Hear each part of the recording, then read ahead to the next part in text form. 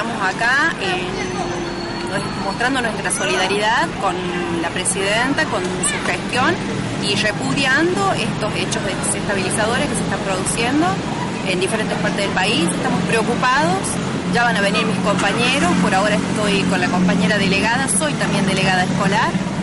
Y bueno, con mi hijo, que también ha venido acá interesado por lo que está pasando, porque no puede ser, no puede ser que permanezcamos eh, pasivos ante esto. ¿Cuál es el temor que tienen? El temor es eh, que peligre la democracia. Eso hay que defenderlo como sea. ¿Ahora van a seguir movilizando si esto no se destraba a largo plazo? Nosotros sí, y calculo que profundizaremos las medidas. Este, esto nos organizamos espontáneamente, ya van a venir otros compañeros, como le dije, están en diferentes espacios eh, discutiendo lo que está pasando y escuchando lo que está aconteciendo para ver la evolución de esto. ¿Fue aceptada la medida de la presidenta?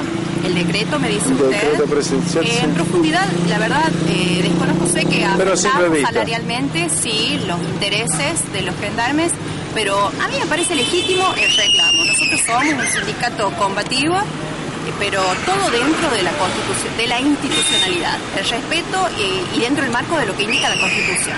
A título personal, ¿ganan mucho los gendarmes para la función que cumplen o poco? Eh, las especificaciones de sus funciones no sabría yo desarrollarlas, pero me parece que la medida es exagerada. No pueden tener en vilo a todo un país, porque se está replicando la medida. No puede ser, eso no se puede hacer. Eh, es preocupante que los organismos y las, eh, las autoridades gubernamentales que se dicen tan defensoras del modelo, del proyecto nacional y popular, no estén acá junto a nosotros defendiéndolo. ¿Hablamos del gobernador? Del gobernador y todo su séquito, y todas las organizaciones, pero también los dirigentes sindicales. Nosotros como CTA estamos acá. Reynoso tendría que AFP también.